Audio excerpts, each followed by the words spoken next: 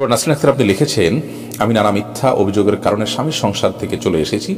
এখন আমার স্বামী আমাকে আবার সংসারে ডাকছেন। আমি কি এখন ফেরত যেতে পারি বিষয়ে আপনার পরামর্শ কি? বোন নাসরিন, প্রথম কথা হলো যে আপনাদের মধ্যকার সম্পর্ক আছে কি না একটা হলো যে আপনি চলে এসেছেন, আরেকটা হলো যে আপনাদের মধ্যে বিচ্ছেদ বা তালাক হয়েছে।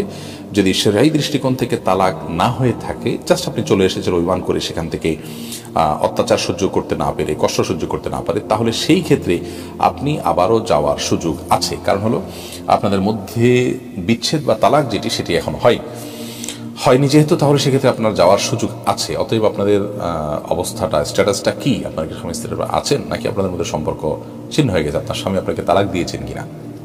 অথবা আপনি অর্পিত তালাকের যে ক্ষমতা, সেটা প্রয়োগ করেছেন কিনা? এটার উপরে নির্ভর করবে। আপনি ফিরে আসতে পারবেন কি পারবেন না, সে বিষয়টি বিধা সেটি জানতে হবে।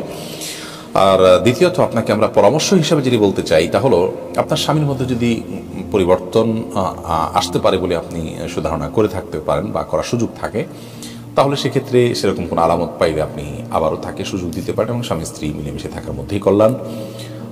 প্রয়োজনে আপনি দেখতে পারেন তাকে আরেকবার সুযোগ দিয়ে যে তিনি আদৌ পরিবর্তন হয়েছেন কিনা। কিন্তু আশাটা নির্ভর করবে আপনার বিবাহটা এখনও টিকে আছে নাকি তালাক হয়ে গেছে সেই দৃষ্টিকোণ থেকে। জন্য কী ঘটেছে সেটি দেখতে হবে। নিছক আপনি রাগ করে চলে গেছেন, আপনার স্বামী আপনাকে তালাক দেয়নি, আপনি কোনো কিছু করেননি, জাস্ট অভিমান করে একজন দূরে আছেন। এরকম যদি হয়, তাহলে সেক্ষেত্রে আপনার মধ্যে তালাক হয়নি।